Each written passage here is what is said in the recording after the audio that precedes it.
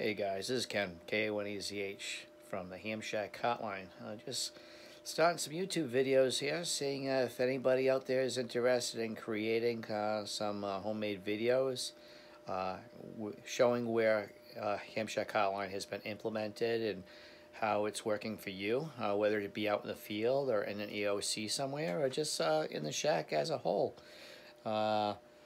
would love to have some of you uh, venture into making some homebrew videos. Uh, looking for them to be uh, fun, witty, informative.